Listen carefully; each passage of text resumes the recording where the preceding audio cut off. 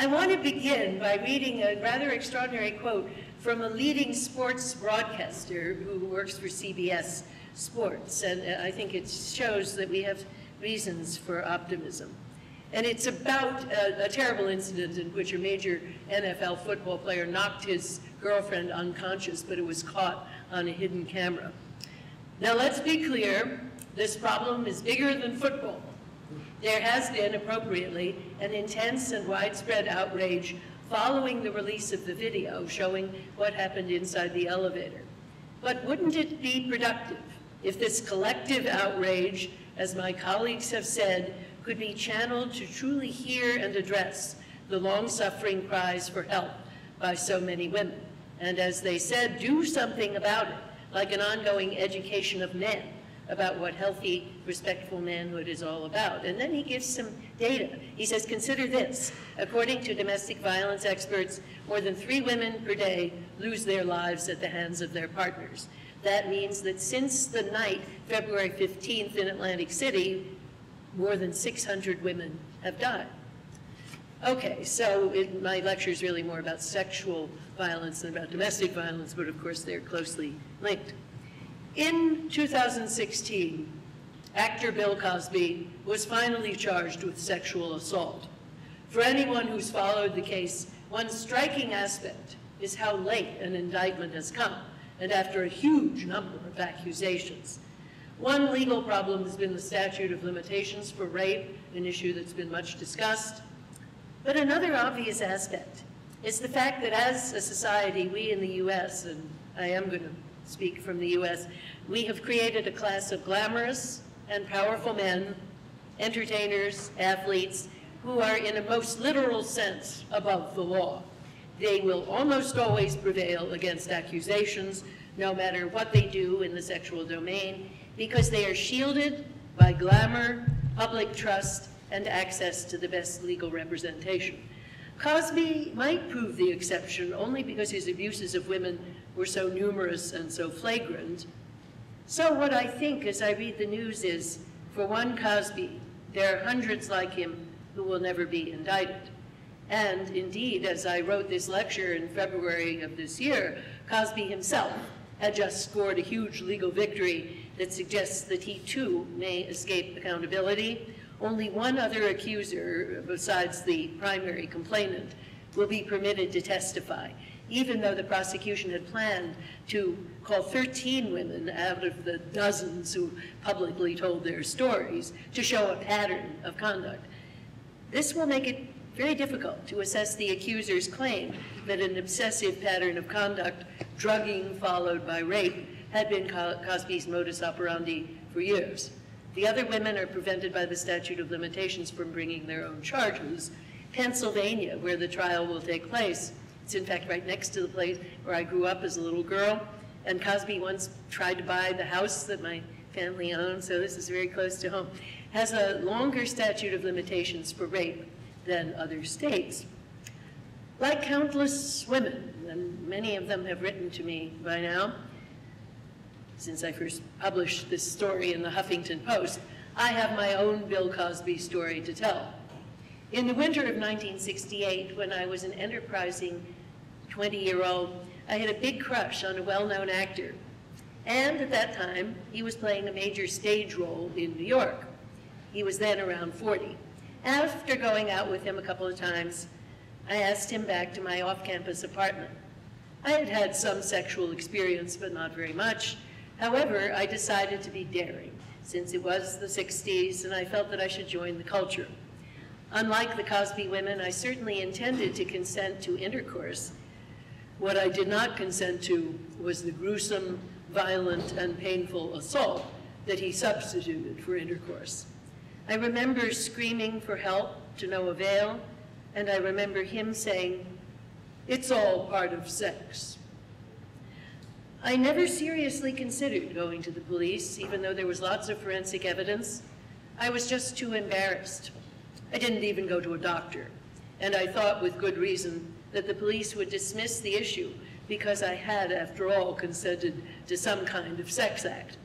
Even now, the law is actually not well equipped to handle that type of case, since consent is usually understood to be an all or nothing matter, despite the fact that there's a world of difference between what I intended to consent to and what happened to me.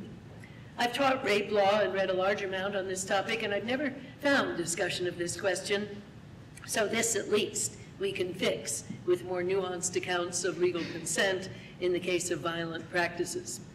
But the issue I want to focus on is that even had all these problems been solved, the celebrity in question would certainly have prevailed. He would have denied my allegations, cast aspersions on my reputation, even perhaps attempted to portray me as an extortionist. My life, personal and professional, would have been profoundly damaged and nothing would have been accomplished. Not specific deterrence, since I am sure he was undeterrable, shielded by fame as he was, and not general deterrence, since I would have failed. No doubt dozens of other women have come to the same conclusion about this particular man. In fact, it was only The Guardian in the obituary of him that actually said some things about his bad conduct, and none of the American papers. And who knows how many hundreds or thousands, about how many hundreds of other male celebrities. So what did I do after my injuries faded? I decided not to join the culture I met a lovely man my own age, settled down to a monogamous life, married, and soon had a child. I was very lucky. I have never experienced any sexual trauma from the event, and to this day, I think it has affected me almost not at all, except that I never wanted to watch his TV show, which is not the type that I would normally watch anyway. Perhaps this episode also explains my strong interest in Law and Order SVU, which is my favorite TV show. I've had a very happy life in sexual and other respects. I observed the public enthusiasm for my assailant as an icon of virtuous American fatherhood with ironic detachment. Only 30 years later, when he ran for Congress, did I even consider coming forward with my story just to tell the story, since I thought it was preposterous that he should hold a position of public trust. But close friends assured me that no one would believe me after such a long time, and he would be certain either to portray me as an extortionist or even to sue me for defamation. The famous, of course, are indeed unusually exposed to extortion, and that vulnerability itself is an aspect of their impunity. Everyone easily believes that this is what a complaining woman is after. I consoled myself with the fact that he was, after all, a Democrat, running against an especially vicious Republican opponent. Even, he lost, actually. Even now that he's dead, I don't name him because I don't want to be sidetracked into that question, but also because a Vince Foster case in the U.S. showed us that a person's privacy interests can be held to survive death and who on earth knows what some court might say about a reputational interest? I note that U.S. U.S. obituaries, as I said, said nothing about his bad behavior, but the British did. Mine was a selfish and self-protective response. I do wonder whether even a futile complaint could have prevented other harms. But now I want to set this issue in a larger context before returning to the case of celebrity accountability. First, I'll give some general facts about how women are doing around the world. Then I'll zero in on the unsolved problems of sexual violence. I'll describe some, in fact, quite a lot of real progress on even this thorny issue, both in law and in culture. But then I'll return to the recalcitrant case of actors and sports stars, where big money still prevents full accountability. So women are making progress. In 1893, New Zealand became the first nation to offer women the vote. In 2017, every nation of the world has given women the vote. Even Saudi Arabia did so in 2015. In 1900, there was no female member in any national parliament. In 2013, I, that's the most recent I could get, according to the World Bank, the proportion of seats held by women is about 22%, rapidly up from 12% in 1990. And this is the whole world. In educational enrollment and attainment, although some nations still show substantial gaps, women have basically closed the gap worldwide, coming up to parity with men in primary and secondary enrollment, and surpassing men in tertiary enrollment. Women's labor force participation is also advancing, although it still lags behind men worldwide, 50.6% as contrasted with 76.7% for males. Although aging women and single female heads of households still exhibit a dramatically higher than average rate of poverty, women are on average slowly rising economically, so that their share of national poverty is right now around 50% in Europe, Latin America, and Africa. In the very basic area of life and health, we also see dramatic improvement. Women's life expectancy at birth has climbed from 54 years in 1960 to 72 years in 2012, about the same increase that we see for men. Women now outlive men in virtually every country. Maternal and infant mortality are rapidly declining, although there's still severe problems in some countries. Women appear to enjoy nutritional status in childhood similar to that of males. We see few disparities in immunizations or rates of communicable disease. Even HIV affects women and men more or less equally. A lot of this progress comes from development and greater affluence, but women's relative status has improved even in many nations that are still lagging behind in overall economic development. There are two especially recalcitrant issues. One of them is women's burden of care work in the household. A vastly disproportionate amount of childcare, elder care, and domestic labor is currently done worldwide by women. The rare case is where the woman is hired and paid a wage, and even such women are exploited because the wage for work perceived as women's work is not adequate, but a large proportion of such work is done for free by women, and they are supposed to be doing it out of love. This is just how things are. There are many issues here. The burden of the so-called double day, where women work a full-time job and then they come home and do this other work. The failure of economic accounting to count this work as work or to assign to it a monetary value, the consequent devaluation of women's work in many contexts, such as divorce or damage suits, but that's not my topic today.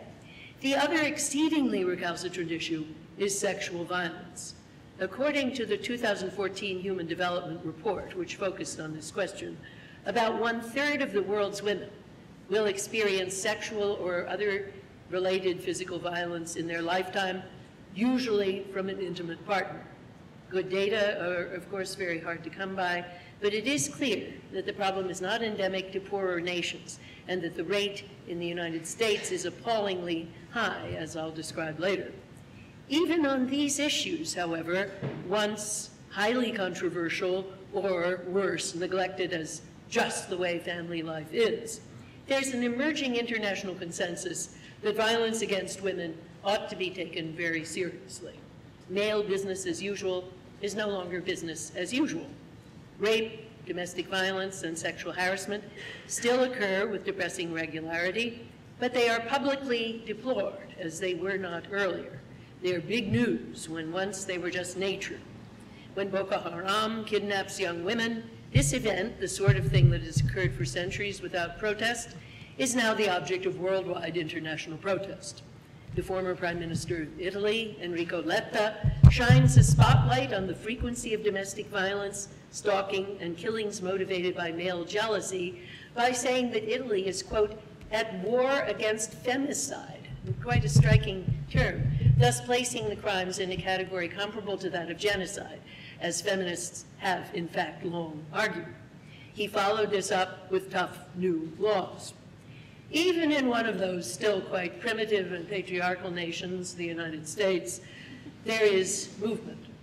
For years, rape on college campuses, fueled by alcohol and the toxic atmosphere created by big-time college sports, had gone virtually unreported as complainants were routinely dissuaded from pursuing their complaints. In his last two years in office, President Obama, but actually the leader was Vice President Joe Biden, a longtime feminist, directed attention to this issue, launching a campaign against campus sexual assault and even publishing a list of 55 especially problematic institutions on which I'm sorry to say the University of Chicago figured. And lately, wonder of wonders, the most all-American institution of all, the National Football League, is writhing in distress after a wave of domestic violence issues involving prominent players. And quite a few of those players have been dropped and no one re-signs them. So, of course, it isn't as though these things are really new events. It's the climate of their reception from fans, from politicians, sports journalists, and perhaps most important, from the league's corporate sponsors that has undergone a virtual revolution. When you listen to, there's this program called The Score, which is a sports talk radio show in Chicago that I like to listen to because I am a sports fan. Um, it's quite astonishing. You might almost be at a 1980s feminist consciousness raising session run by Andrea Dworkin. Even beer has joined the women's movement. On Tuesday, September 16, 2015, NFL corporate sponsor Anheuser-Busch stated, quote, we are disappointed and increasingly concerned by the recent incidents that have overshadowed the NFL, that's National Football League, season. We are not yet satisfied with the league's handling of behaviors that so clearly go against our own company culture and moral code. Wow, either staggering hypocrisy or revolutionary change. And in a sense, even hypocrisy would itself be a revolutionary change, reflecting deference to new social norms and new consumers. So let me now briefly trace the evolution of law and social norms toward greater accountability and then show what still, what fight we still need to win. So I'm going to talk about only the US, but I think similar developments are true here. So let me describe first the current dimensions of the problem.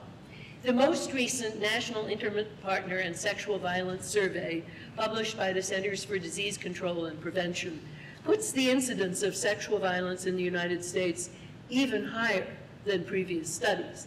Nearly one in five women surveyed said they had been raped or had experienced an attempted rape, and one in four reported having been beaten by an intimate partner. One in six women have been stalked. Sexual violence is, of course, not only toward women, but it affects women disproportionately. One third of women said they had been victims of some form of sexual assault. One in seven men have experienced sexual violence, and one in 71 have been raped, usually when very young. More than half of female rape victims were raped by an intimate partner, and 40% by an acquaintance, at least. Nor are these numbers unconnected to traditional patriarchal attitudes. Edward Laumann, one of the great sociologists of our era, found some highly disturbing facts in his exhaustive study of American sexual attitudes and experience, published in The Social Organization of Sexuality and then its more popular cousin, Sex in America.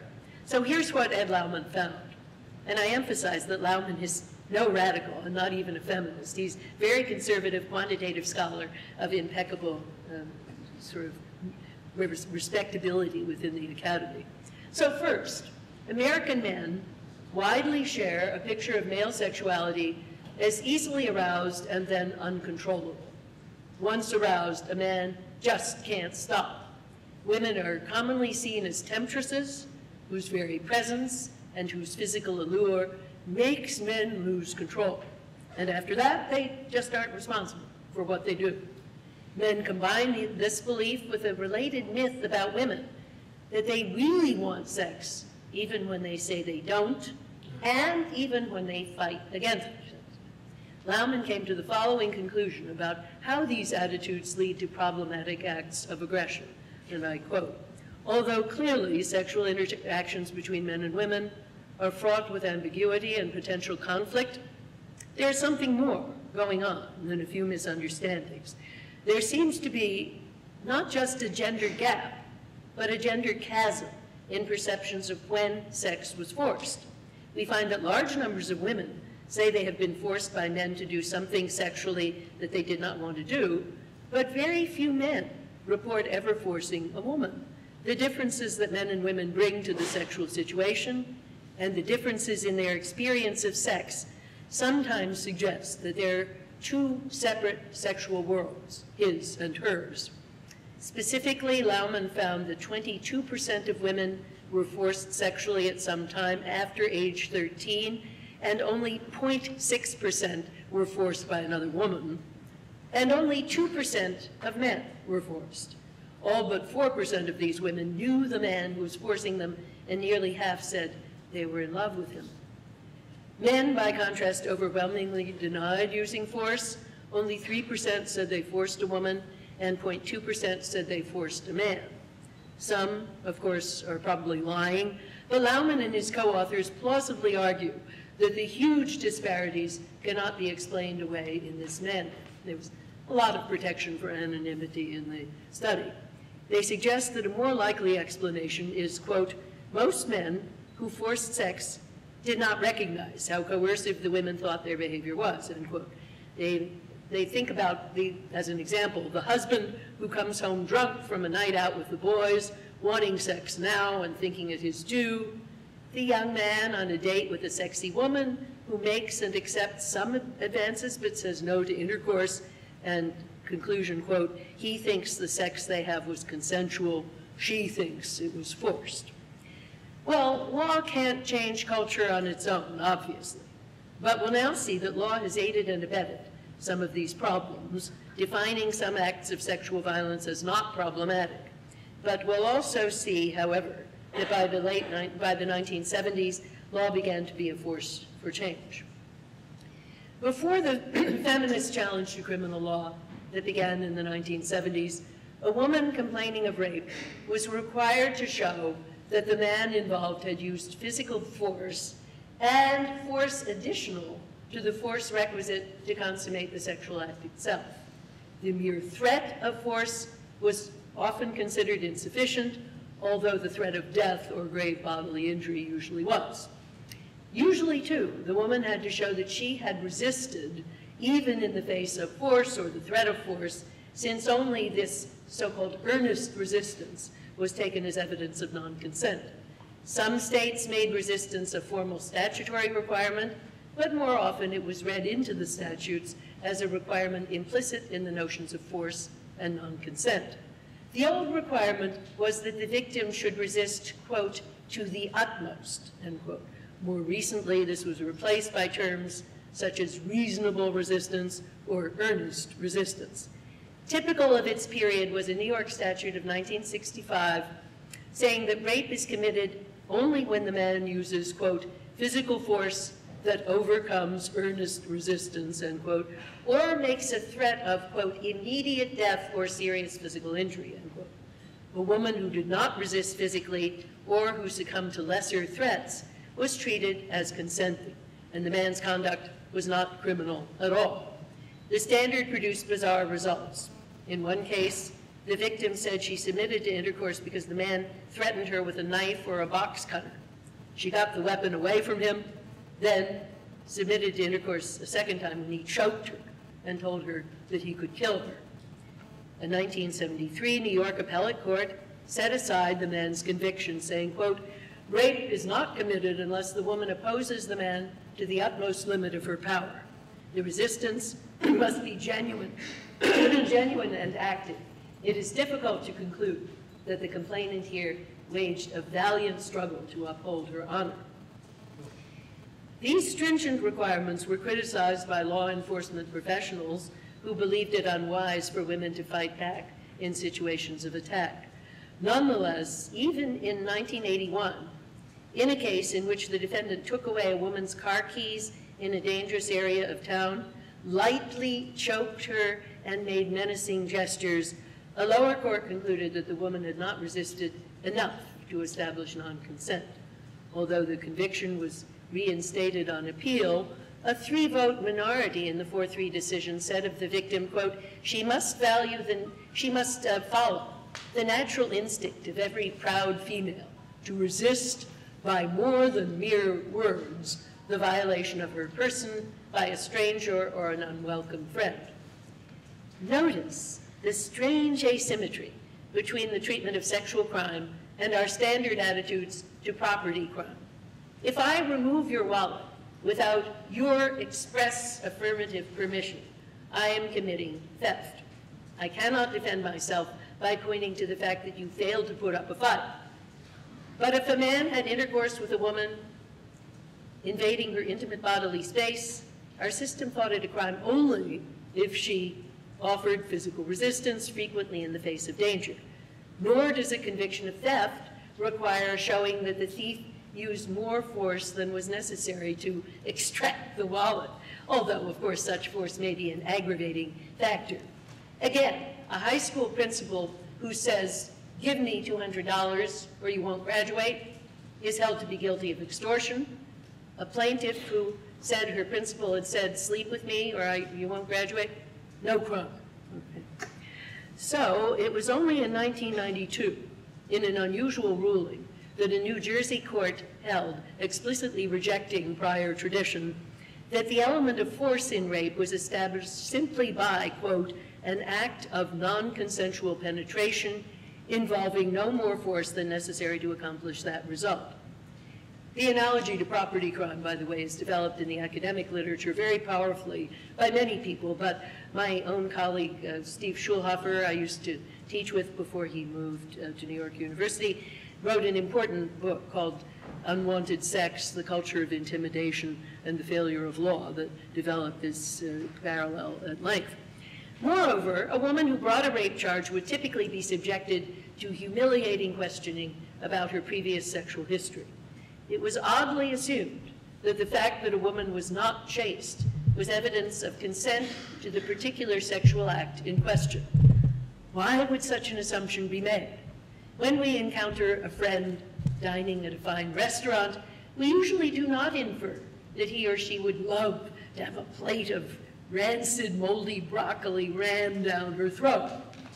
And yet, it is just this sort of reasoning that pervaded most rape trials it would appear that the inference reflects a picture of women as divided into two groups, either chaste or whores with whom anything is permitted. These pictures of women have deep roots in our entire culture, coloring the ways in which we see or missee particular events. As eminent a cultural authority as Dr. Johnson once said to Boswell, the one great principle that a woman should learn is to keep her legs together when once a woman has given up that principle, she has given up every other. This idea is certainly at work in the perception that a woman who doesn't struggle at some risk to herself has consented and has no right to complain. These beliefs are greatly enhanced by pornographic depictions of women.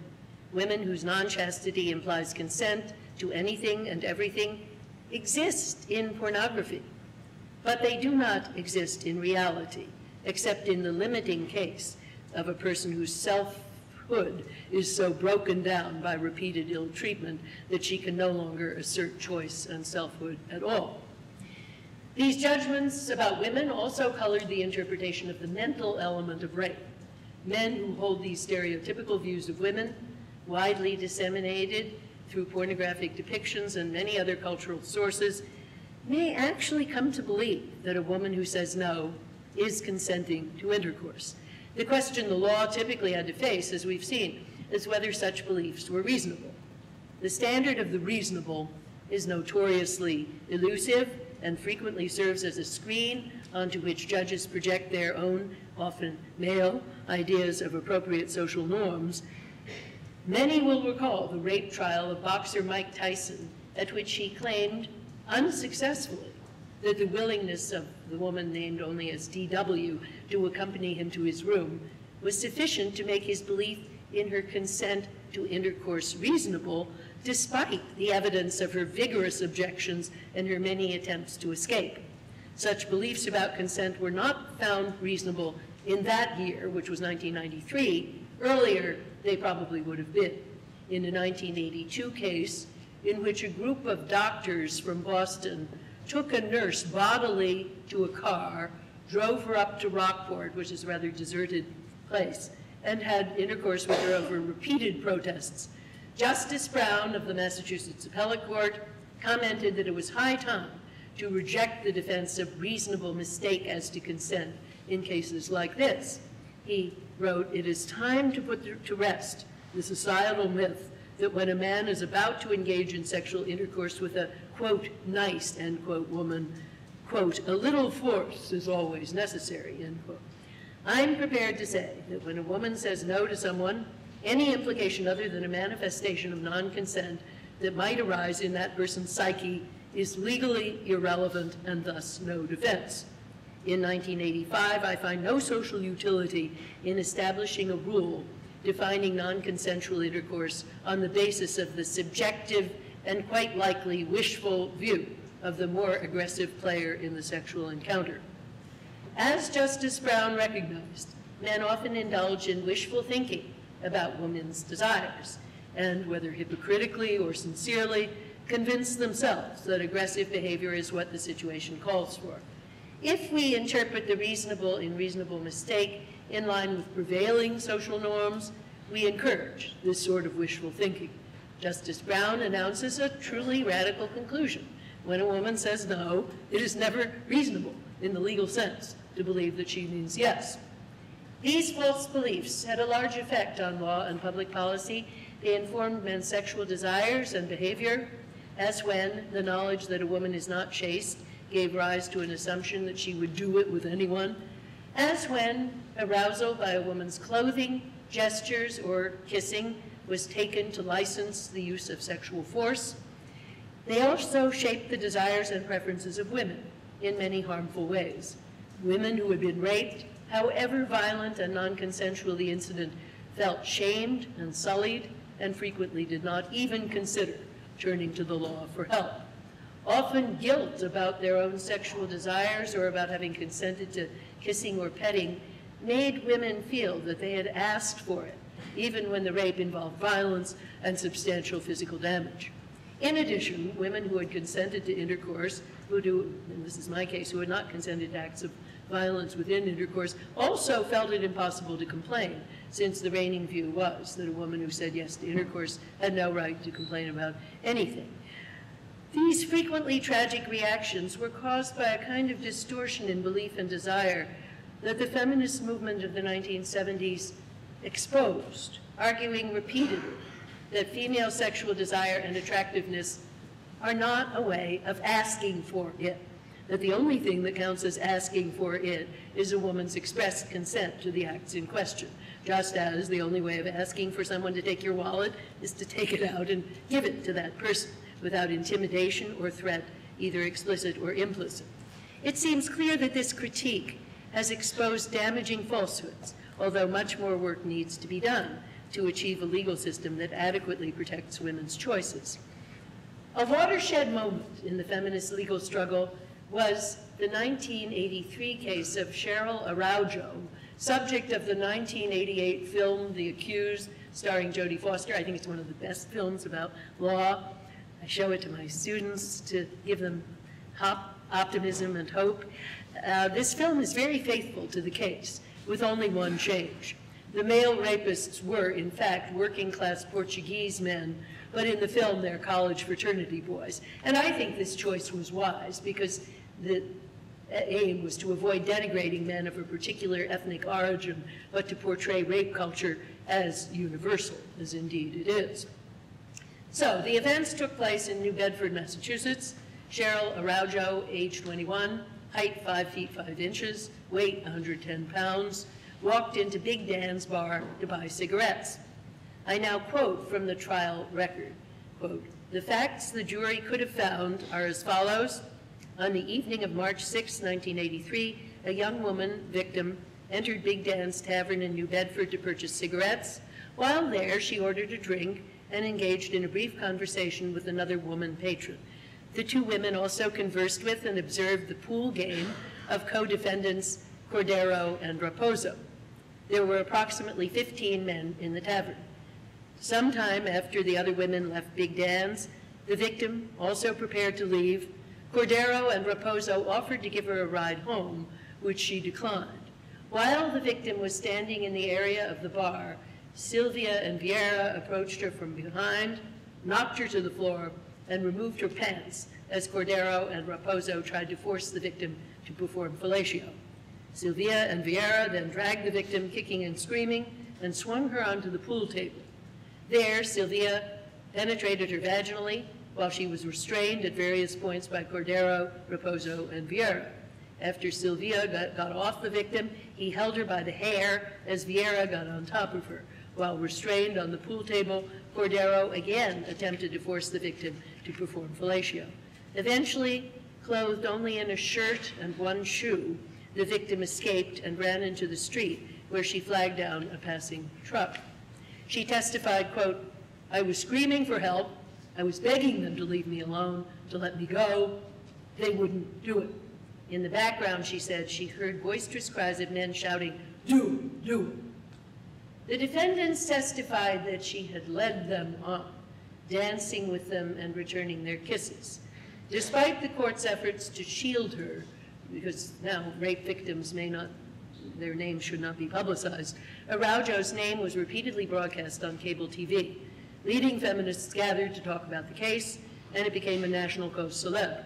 In the end, four defendants were convicted of rape. Two others were acquitted. One of the jurors said, she wasn't the greatest of women. She probably egged them on to some degree and they lost control. But after she said no, she was violated. That's how they broke the law. Quite a radical shift in the middle of that sentence.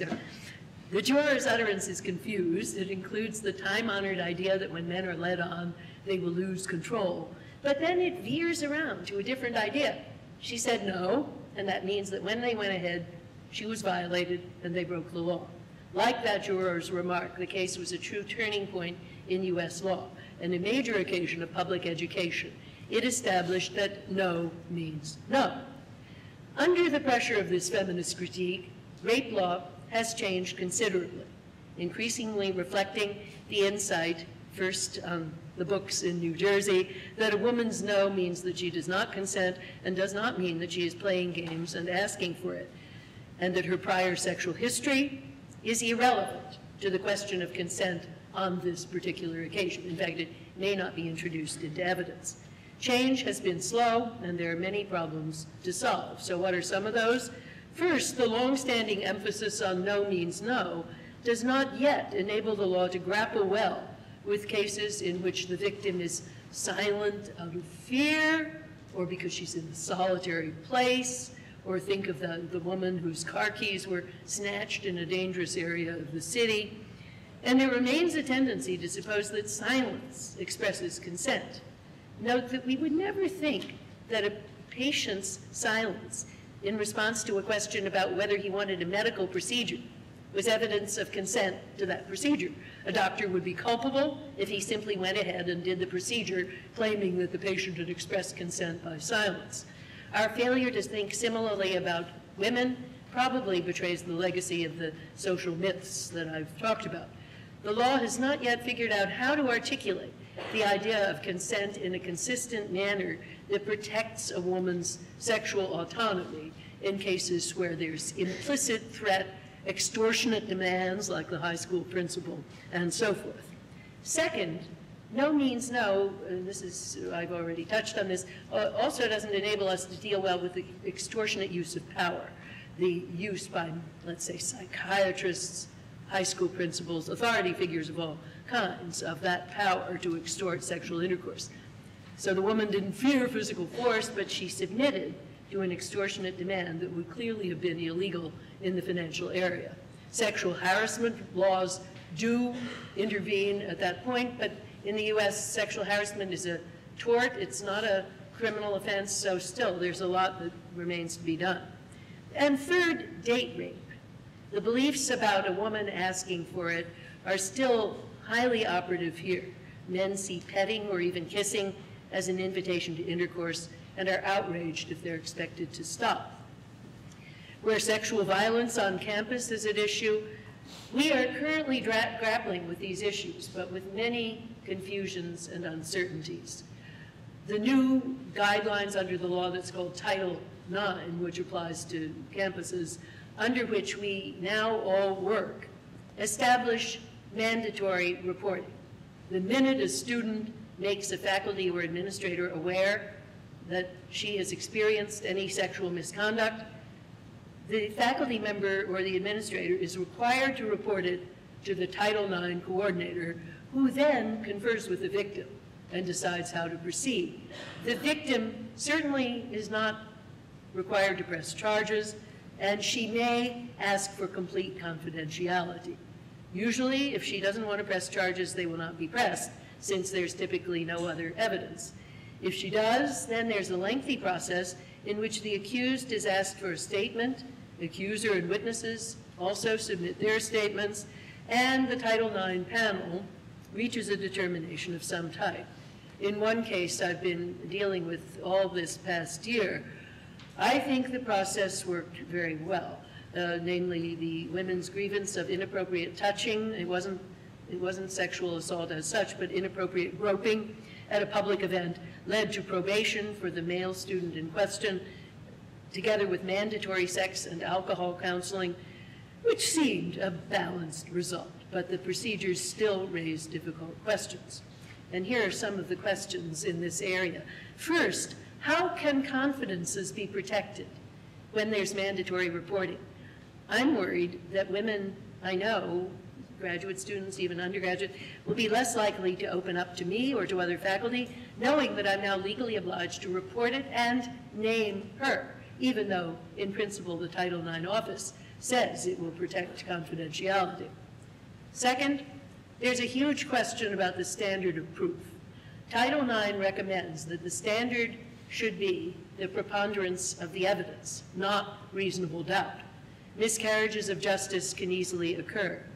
A group of law academics, uh, particularly at Harvard Law School, after a very difficult case involving a, a very promising lower working class African American student who was convicted by the preponderance of the evidence, but it looked like a miscarriage of justice.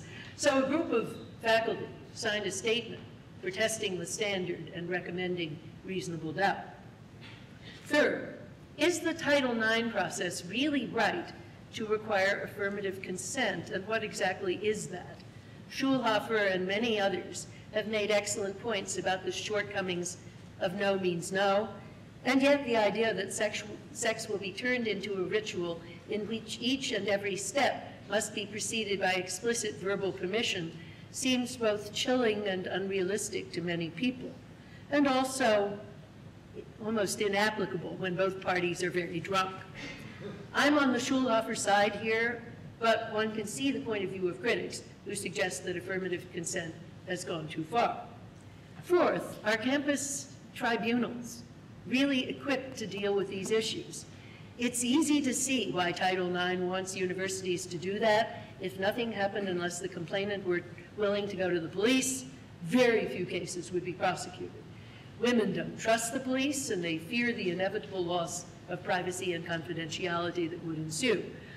But people's lives are now in the hands of people without often, I mean, the Title IX coordinator has legal training, but the panel that hears all the cases from undergraduates is just faculty, a couple of law professors, but you know, most of them have no legal training. And it's only the rare campus that subsidizes free legal representation for the accused. Columbia does that, but um, that's the exception. So we're grappling with these questions. They're tough and subtle. That we have reached this place is a tremendous victory.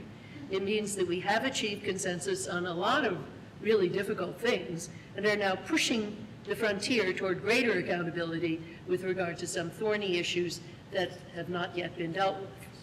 But now I turn to celebrities.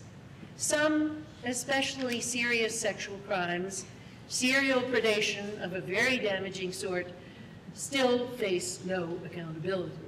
And now we return to professional sports and to my Huffington Post piece. We've reached a further frontier in terms of accountability. Private citizens who rape women are typically, or at least very frequently, held accountable. Even politicians now face accountability, since politicians are actually expendable. There are plenty of them. But there are certain people who have talents that make a lot of money for other people. And those people are typically shielded from accountability. Sports stars are not fungible. They have big talents, difficult to replace, and those talents make lots of money for other people. Media stars and actors might have been expendable and replaceable at one time in their career. After all, for every role, there are probably several hundred out-of-work actors who could play that role very well. But once actors become stars, they are no longer fungible, and studios and investors have a lot invested in them. More generally, we live in the United States in a culture of celebrity, which makes these people think that they are above the law, sometimes from a very early age. Things are worse with athletes because the corrupting effect of big money talent sets in very early. They're groomed from high school on. They're pampered in colleges and universities, big scholarships, and they're made to feel that the rules for other people don't apply to them. They're encouraged to deceive. Thus, U.S. colleges, pretty much all the colleges that have big-time sports teams, give fake classes and fake grades to athletes, and the athletes understand that faculty are their collaborators and that they're lying to protect them from academic accountability. As for sex, they're often recruited in situations that positively encourage sexual misconduct. Women are virtually pimped out to athletes that universities are trying to recruit. And most big sports universities have no shame about acting as pimps in this way. So, from a very young age, they live in a culture of deceit and sexual corruption. Actors learn corruption somewhat later, although the very real corruption of sleeping your way to a role is surely a bad influence on younger actors. Let me now mention one further issue, I alluded to it previously, which makes accountability much more difficult. It is the ever-present possibility that superstars will be lied about for purposes of extortion, which really does muddy the waters. We know that sometimes celebrities are guilty as charged, but sometimes not. I believe, for example, maybe it's just because I'm a Chicago sports fan, the charges of sexual assault against the basketball star Derrick Rose were probably false and were made in order to extort money. I mean, I've studied the case, so I don't just do it as a fan, but he courageously contested them, and a court found in his favor. But no doubt, for every case where the person is innocent, and of course this is just my conclusion, which could be wrong, there are many more where the person is guilty and defends himself by raising the extortion issue. I've mentioned some athletes who did face accountability, the one who beat up his girlfriend in the elevator. One salient case was that man, Ray Rice. Uh, and uh, the misconduct was so obvious on the camera, he knocked the woman unconscious, that no one could doubt it. In a few other similar cases, the conduct has been documented beyond dispute. But these cases don't really show that big money stars aren't above the law because what we see is that women are still not empowered to bring charges and are treated very badly by the authorities when they do come forward. Consider Cosby's case, where many women tried hard over the years to press charges against him, but one by one, they had no success in establishing culpability, though some did receive financial settlements. This past year, it's only the overwhelming number of cases with a precisely similar pattern that finally caused Cosby to lose his many honors and his his honorary degrees, his university appointments, and many lucrative opportunities. And now one prosecution, the only one not blocked by the statute of limitations, is going forward. Most cases are not like this. And even this case, which looks like success, has so many twists and turns, as you see, so can't predict with confidence that he will be convicted. Surely the long Cosby saga has been draining and terrible for the women involved because of the great power of the celebrity machine that used to protect him. Now, Cosby is now 79 years old. His acting career was over even before it was ended by the revelations about him. It is, I think, no accident that people stopped defending him just when he was not making money for them anyway. Now, as my last grim exhibit, let me consider a case where big money is at stake and credible allegations don't get taken seriously the case of Jameis Winston. Jameis Winston is an extremely gifted quarterback who began his fame while at Florida State University and since 2015 has played for the Tampa Bay Buccaneers of the NFL. He is 6'4 and weighs 227 pounds. He is 23 years old. He has broken the franchise's record for passing yards and passing touchdowns in a single season, and he's the first quarterback in NFL history to start his career with consecutive seasons of 4,000 yards passing. He holds several other records I won't bother to enumerate. So he is a big talent, and he, you know, comes from a poor African American background, so that's also compounds the issue. Now, the facts about sex and non-accountability. On November 14, 2013, the state attorney of the Second Judicial Circuit announced that they were opening an investigation into a sexual assault complaint involving Winston that was originally fired, filed with the Tallahassee City Police Department in 2012. The complaint was originally investigated by the city police and classified as inactive in February 2013 with no charges filed. The police report containing the complainant's original statement was posted by uh, the Tallahassee Police Department, but they did nothing about it. They stated that the complaint was made inactive, quote, when the victim in the case broke off contact with TPD and her attorney indicated that she did not want to move forward at that time. And then, that, since that was just a bald-faced lie, the case was re-examined after media requests for information started pouring in.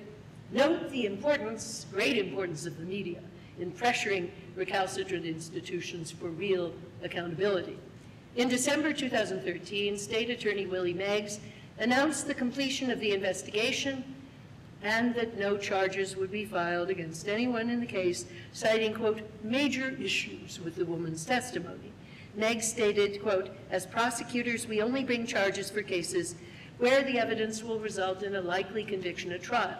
In this case, the evidence does not show that, end quote. Allegations of improper police conduct were made with the complainant claiming to have been pressured into dropping her claim, and then in retaliation, Winston's attorney alleged inappropriate links, leaks to the media. Florida State's policy it's a real big sports school, is that athletes charged with a felony cannot play until their case is disposed of. But Winston continued to play throughout the investigation because he had never been charged. On April 16, 2014, the New York Times got into it and reported irregularities in the rape investigation involving Winston. The complainant developed bruises, it turns out, I mean, this is long ago by now, and semen had been found on her underwear. So all of that evidence was there. A month later, the complainant identified Winston by name as her attacker. Tallahassee police contacted Winston. This is all the New York Times recapitulation. No DNA sample was taken from Winston until the prosecutor took over the case months later. Once it was taken, it was found to match the DNA that was found in the complainant's underwear. The investigation was conducted by an officer who did private security work for the Seminole Boosters, who were the alumni club, who were the primary financiers of Florida State athletics. The official FSU hearing, presided over by Florida retired Supreme Court Justice Major B. Harding in December 2014, cleared Winston of violating the student conduct code in the sexual assault case, and he said, I do not find the credibility of one story substantially stronger than that of the other. Both have their strengths and weaknesses. I cannot find with any confidence that the events as set forth by you, the accuser, or a particular combination thereof, is more probable than not, as required to find you responsible for a violation of the code. Therein lies the determinative factor of my decision. So that was it for criminal charges. However, in January 2016, the university paid the accuser $950,000 to settle a civil suit she brought against the university. So kind of an admission of fault. The accuser, who had by that time publicly identified herself as Erica Kinsman, also filed a civil suit against Winston himself in April 2014, and Winston countersued her for defamation and tortious interference. And in a September 2015 ruling, a federal judge dismissed Winston's tortious interference claim, but declined a motion to dismiss his claim for defamation. Winston and Kinsman's respective suits were combined, and they're scheduled for the U.S. District Court for the Middle District of Florida to begin in May of this year. Meanwhile, in the fall of 2015, Winston began his stellar pro career. Now, I'm not a retributivist. I think the appropriate goals of criminal law in this and other cases are specific deterrence, general deterrence, incapacitation, and reform. It's pretty obvious that general deterrence has not been served here. Other athletes see from this case, where after all the evidence was so black and white, that if you are a big talent, you're above the law. University officials and rich alumni will pay to protect you. But what about specific deterrence and reform? On February 23, 2017, so just as I was drafting this lecture, Winston made a guest appearance at a St. Petersburg, Florida elementary school. The type of goodwill thing that athletes do to show that they're good people and to help public relations for the sport. During his motivational talk, he said, all my boys stand up. All my ladies, you can sit down. But all my boys stand up. We strong, right? We strong. We strong, right? All my boys, tell me one more time. I can do anything I put my mind to. A lot of boys aren't supposed to be soft-spoken. You know what I'm saying? One day, y'all are going to have a very deep voice like this. And then he speaks very deep. One day, you'll have a very, very deep voice. But the ladies, they're supposed to be silent, polite, and gentle. My men, my men supposed to be strong. School officials and parents were very upset. And on February 24th, uh, the day I wrote this paragraph, Winston apologized for his, quote, poor word choice. so here we see someone utterly undeterred, unreformed, unreformable. And I would also add, you know, obviously not educated, and he, he went through college and, and didn't learn how to construct a sentence. Um, even when his goal is to motivate students to strive, the only way he finds to express that idea is a set of sexist stereotypes. And guess what stereotypes? Male force, male strength, female silence, and um, non-resistance. But then, why would Winston be deterred or educated when a public university, using taxpayer money, paid out a million of those dollars, taxpayer dollars, to settle a complaint involving him, and when at every step in the road, powerful university officials and alumni, those Seminole boosters, were conniving to corrupt the justice system. I almost feel sorry for Jameis Winston since he had been exploited throughout his life. I actually think there's a racist aspect to the exploitation too, so it's complicated. Um, used as a tool for the enrichment of rich white people and never permitted to get a decent education. And then, no doubt, already he's on the road to a horrible later life of dementia from CTE. Corrupt university officials and alumni are as much in need of accountability as he, and indeed I think more so since they are almost certainly serial offenders and maybe he won't be. Now, I, I note that other universities behave much better. Baylor University, when the sexual assault cases came to light, not only dismissed their football coach and assistant coaches, but they also dismissed Kenneth Starr, whom you know from the prosecution of Bill Clinton in the impeachment hearings. Kenneth Starr, an evangelical, was president of that university, and he was fired from that position. So that was actually quite a lot of accountability.